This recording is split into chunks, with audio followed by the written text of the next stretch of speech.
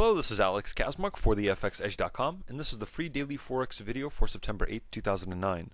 One reminder before I begin, the purpose of this free daily video is education and not an alert service. I'm not going to make any trade recommendations, but what I am going to do is point out levels of support and resistance for the next 12 to 24 hours. Please keep in mind that trading with leverage is very risky, so please don't trade any real money until you've established a proven track record of success on a demo account. Trading conditions are always changing, so make sure to watch tomorrow's video to stay updated. Good morning, everyone. Uh, we saw a quite mixed reaction overnight. Markets were pretty quiet aside from a few pairs. Uh, dollar remained mixed. Uh, we saw much better than expected German factory orders data, which helped push the euro a little bit higher. We're going to watch specifically New Zealand and Aussie data uh, out tomorrow and Thursday to see if the recent breakouts have uh, more room to run. First up, we are looking at the euro dollar on the daily, currently trading at 143.33. We're going to see first area of resistance at 143.50, followed by 144 and 144.50.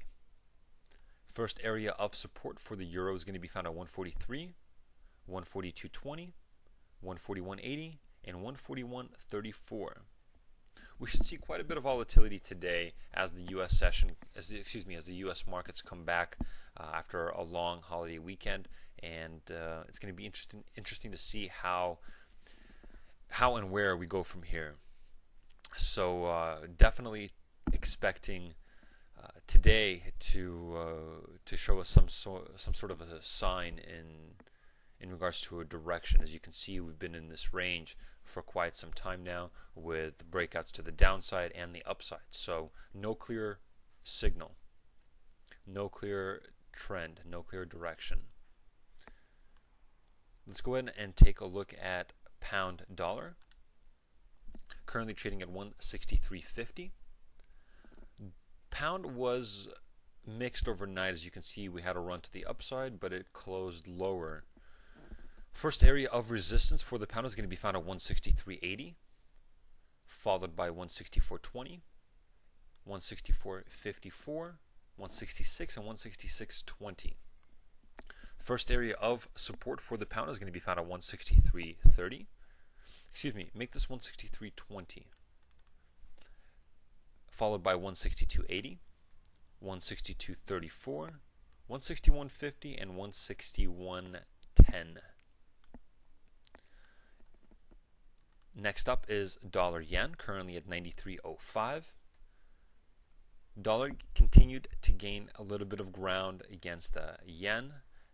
I uh, believe this is still uh, coming from the equity markets. Uh, there's really no uh, dollar significant move here other than flight to safety. And uh, as the equity markets go higher, we'll see dollar appreciate. First area of support is going to be found at 92.80 followed by 9180, 9090, and 8980. First area of resistance is going to be found at yesterday's high at 93.27, followed by 93.80, 94.50, and 95 even. Uh, again, I've mentioned over the last few days that we are keeping an eye on the equity markets to guide us on this pair. As of now, again, we still don't have a clear sign of direction. Uh, perhaps we'll now break lower to the downside, breaking below this pivot low. Uh, very difficult to say as it really depends on the equity markets. As people continue to predict that the equities are going to sell off, we're still waiting for that to happen. At least waiting for the Dow to go below 9,000. Uh, this is some sort of a a sign that that will eventually happen. It's just a matter of time. There's a lot of pressure on the dollar, a lot of pressure on the markets, uh, yet the markets remain resilient. Um, so we'll have to see what happens this week, uh, specifically today, as the U.S. comes back from a long holiday weekend. Next up is the dollar Swissy, currently trading at 106 even. First area of resistance is going to be found at 106.30. Uh, it's going to be in this range as you can see we opened and closed around this area 106.30 had quite a run up to 107 over two days ago and uh, are still headed lower, so we might see room to the downside.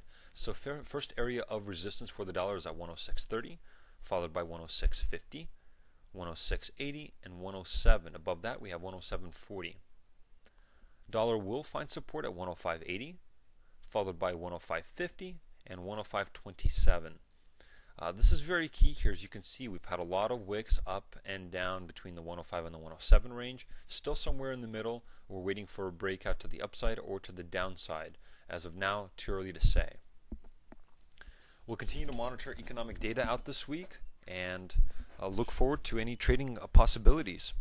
And if you'd like to hear about our trade opportunities, please join us in the members section. This has been Alex Kaczmarek for the FXEdge.com free daily Forex video for September 8th, 2009. Until tomorrow, everybody, happy trading.